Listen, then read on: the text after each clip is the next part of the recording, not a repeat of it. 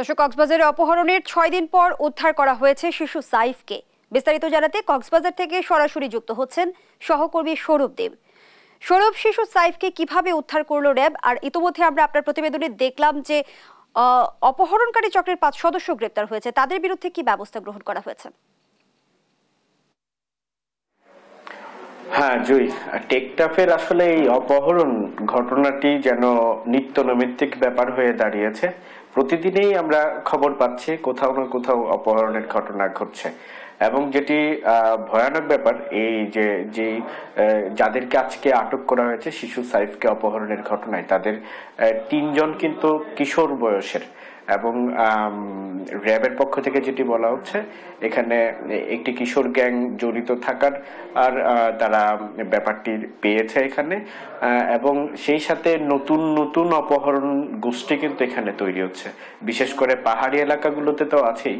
সেই সাথে কিন্তু এই যে মুক্তিপণের জন্য, বিশেষ করে এখানে যে স্থলভাগগুলো রয়েছে, সেখানেও এখন এভাবেই কিন্তু আপনার অপহরণকারী চক্ররা সক্রিয় হচ্ছে।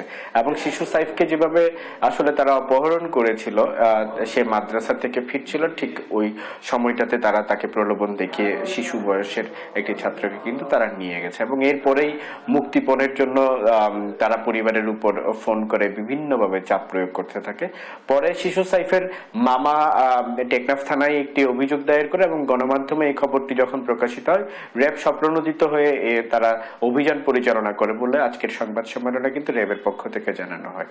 এখন যেই বিষয়টি আসলে সবচেয়ে বেশি আতঙ্কের মধ্যে স্থানীয়দের এর মাঝে বিরাজ করছে, সেটি হচ্ছে এতদিন পাহাড়ের ভেতরে এই পাহাড় বিশেষ করে পাহাড়ের পাদদেশে কৃষকদেরকে কিন্তু অপহরণকারীরা নিয়ে যেত। এখন এই যে শিশু, ছাত্র এবং যারা সাধারণ নাগরিক একদম বিভিন্ন কাজে ঘর থেকে বেরোন এবং বাড়ি ফেরার পথে কিন্তু অপহরণের শিকার হচ্ছেন।